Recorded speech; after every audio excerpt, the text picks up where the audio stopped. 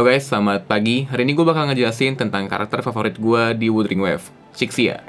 Gue suka banget sama karakter ini, karena menurut gue, karakter ini adalah karakter DPS bintang 4 paling sakit saat ini ya. Menurut gue dia ini broken parah guys. Jadi selain gue suka sama playstyle-nya, damage yang dia kasih itu bener-bener mantep banget ya.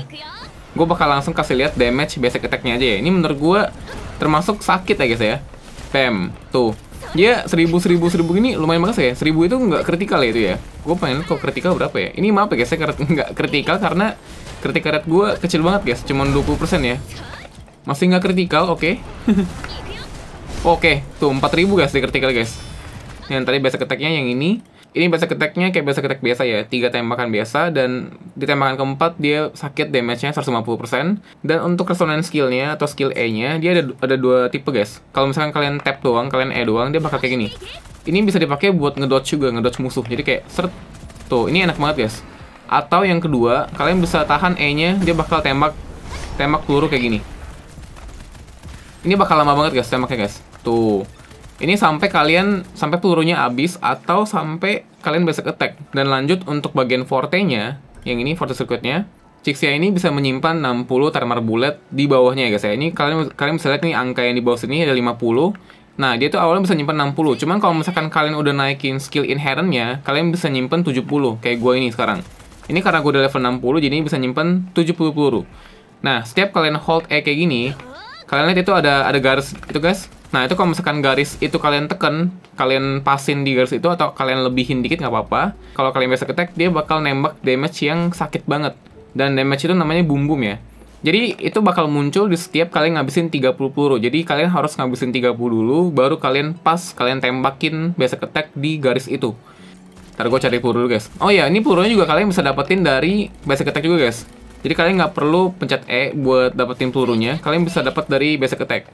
Sekarang gue punya 35 peluru. Kalau misalkan gue ini berarti udah memenuhi syarat buat dapetin skill boom boom itu ya. Yang di mana 30 peluru yang tadi gue bilang. Gue bakal E tahan. And pam. Tuh, 13.256. Itu gede banget ya guys ya. Ini bisa kalian dapetin dengan gampang gitu. Dan sekalian gue pengen bahas untuk sequence-nya atau constellation bahasa Genshin.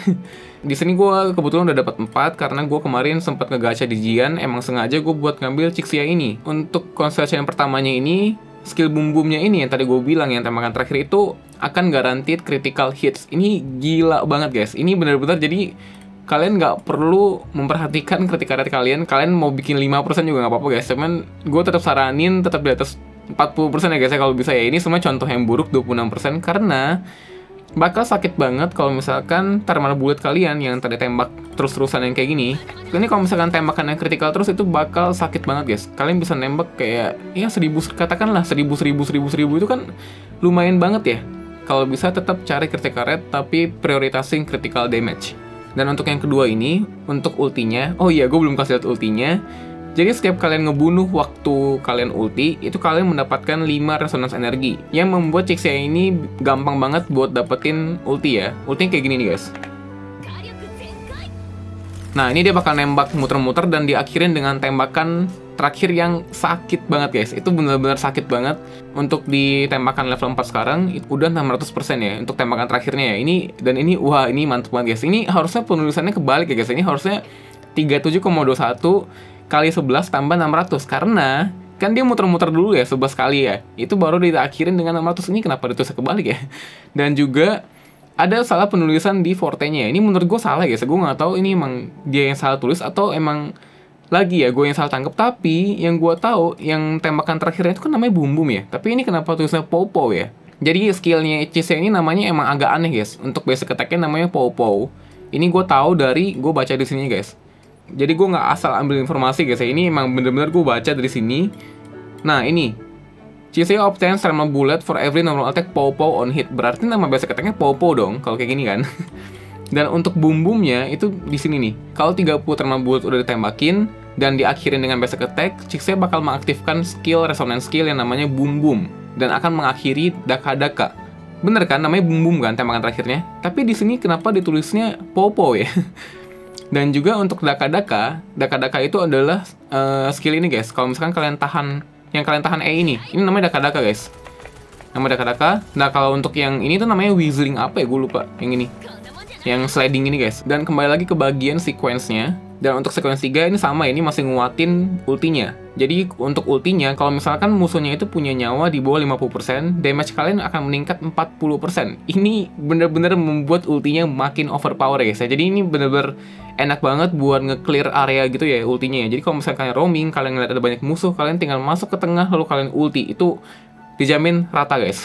Dan untuk C4-nya atau S4-nya kita bilangnya, ini sama ya, ini masuk ke ultinya lagi, tapi ini nyambung ke bagian resonance skill-nya. Jadi setelah kalian ulti, kalian bakal dapat 60 thermal bullets immediately dan kalian bakal ngereset skill E-nya langsung juga. Tapi resetnya cuma satu doang ya. Jadi kalian abis ulti kalian dapat satu stack E-nya lagi. Gue juga lupa jelasin tadi E-nya itu kita bisa pencet dua kali guys ya. Jadi seret dia bisa stuck sampai dua kali nih yang di bawah ini. Kan tadi gue udah pakai nih. Ntar gue bakal tunggu cooldown dulu. Nah ini, dia bisa dua kali guys. Jadi kalian bisa sliding dua kali kayak gini. Oke, balik lagi ke sequence-nya. Untuk S5-nya yang belum gue dapetin, ini dia naikin inherent skill keduanya. Inherent skill keduanya ini yang ini ya. Gue belum jelasin juga ya. Setiap tembakan peluru daka-daka yang E tahan itu, kalian akan mendapatkan tambahan attack 1% yang stuck sampai 30 kali. Jadi kalian dapat 30% attack tambahan. Ini gue nggak sabar banget buat nge-upgrade si Cixia gue ke level 70 dan nggak unlock ini guys ya. Ini bakal membuat skill boom boom gue jadi sakit banget ya guys ya. Gue yakin ini bener-bener nambahnya bakal banyak banget sih guys. Dan kalau misalkan kalian udah punya S5-nya, ini bakal makin dewa guys. Jadi attack tambahan 30% tadi ditambah 30% lagi. Jadi kalian dapat 60% attack tambahan hanya dari E tahan yang tembakan pelurunya. Tapi tapi tembakannya kayaknya harus kena ya guys ya. Coba kita baca lagi. Yap, iya, ini that hits a target during resonance skill. Iya, jadi jadi tembakannya harus kena ya jadi nggak bisa kalian nembak angin habis kalian boom boom itu nggak akan dapet ya dan untuk S6 nya resonance skill boom boom increase the basic attack bonus of all team member ini sangat standar ya guys ya. jadi setiap kalian nembakin boom boom itu kalian naikin basic attack damage ke semua tim sebesar 25% dalam 15 detik. Ini sangat standar ya guys ya. Emang kayaknya kalau untuk constellation atau sequence-nya bintang 4 itu yang keenamnya itu rata-rata untuk ngebuff tim ya guys ya. Ini bisa kita lihat di sini tuh all team member nearby. Ini juga buff tim, Dungeon juga buff tim, increase attack of all team.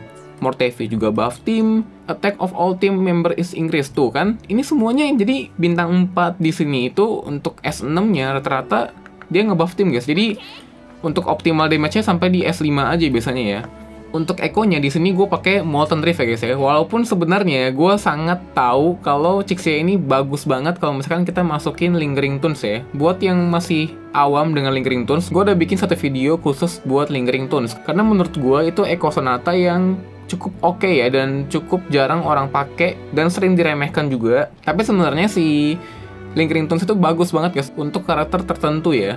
Untuk si Molten Rift ini, sehabis kalian skill E, kalian bakal dapetin 30% fusion damage bonus.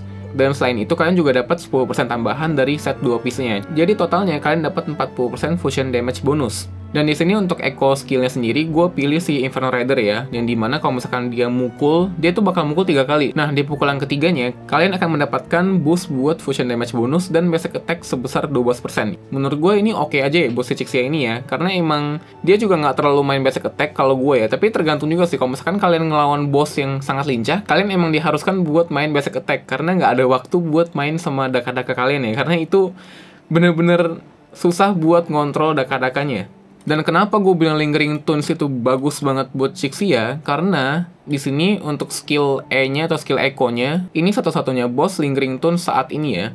Jadi waktu kalian aktifin si E-nya ini, karakter kalian akan mendapatkan 12% attack. Dan gue sukanya si Echo ini tuh dia bisa kalian tinggalin guys. Jadi dia nggak transform. Jadi kalian lagi nembak-nembak gini, tuh kalian tinggal pencet Q aja guys. Jadi dia udah nge-spawn sendiri dan gue tuh suka sama Eko yang nggak merubah bentuk tubuh kita jadi kita masih tetap beraksi gitu jadi kayak bisa kita pencet Q dan kita lupakan gitu jadi itu enak banget ya buat si Cixia ini ya dan kalau misalkan karakter kalian berada di field selama 6 detik, kalian akan mendapatkan tambahan attack lagi sebesar 20%. Jadi tambahan 30% attack ya. Ini mantep banget guys.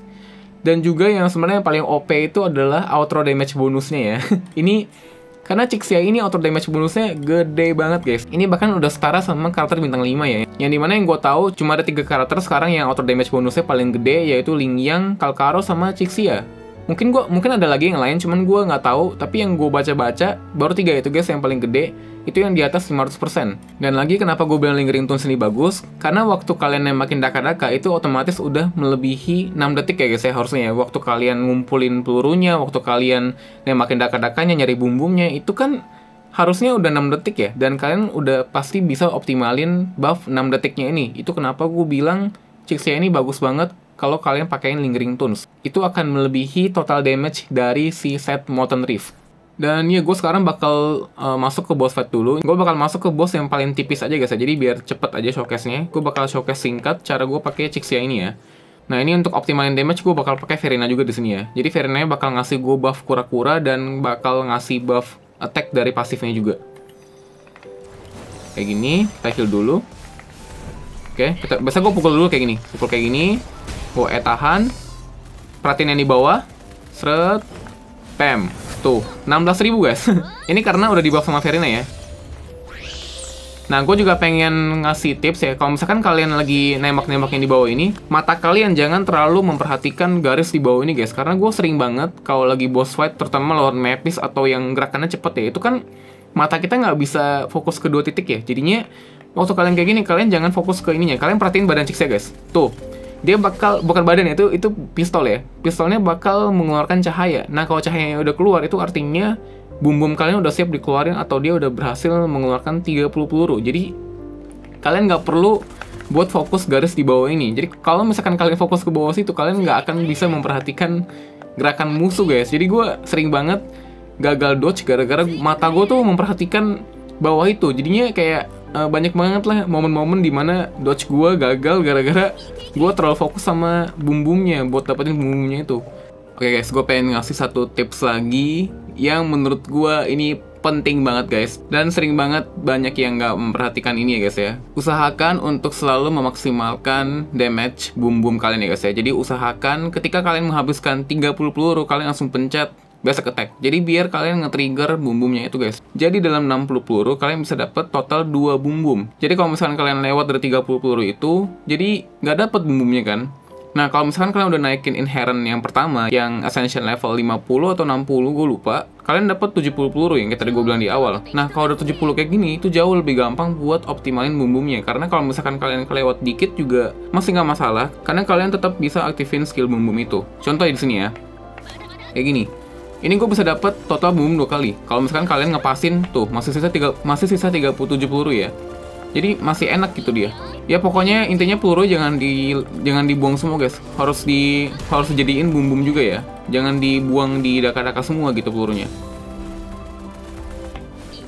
Dan tentu saja Cixia ini nggak akan lepas dari kekurangan ya guys ya. Karena karakter-karakter yang akan gue bahas ini nggak akan gue puji-puji semua ya. Bakal gue kasih juga kekurangannya. Dan kekurangan paling besarnya adalah Cixia ini tuh sangat tidak bisa diinterrupt ya guys ya. Kalau misalkan kalian lagi skill kayak gini Si daka-daka ini Kalau misalkan kalian kena stun atau kena tembak Itu kalian bakal berhenti guys. Jadi pastiin kalian ngeluarin daka-dakanya setelah skill musuh keluar Atau setelah kalian berhasil mecahin shieldnya musuh jadi pastiin kalian dapetin skill boom-boomnya dan daka-daka kalian masuk semua. Ya, gue rasa itu dong yang bisa gue bahas buat karakter Cixia ini. Semoga informasinya membantu dan sampai jumpa lagi di video selanjutnya. Dadah!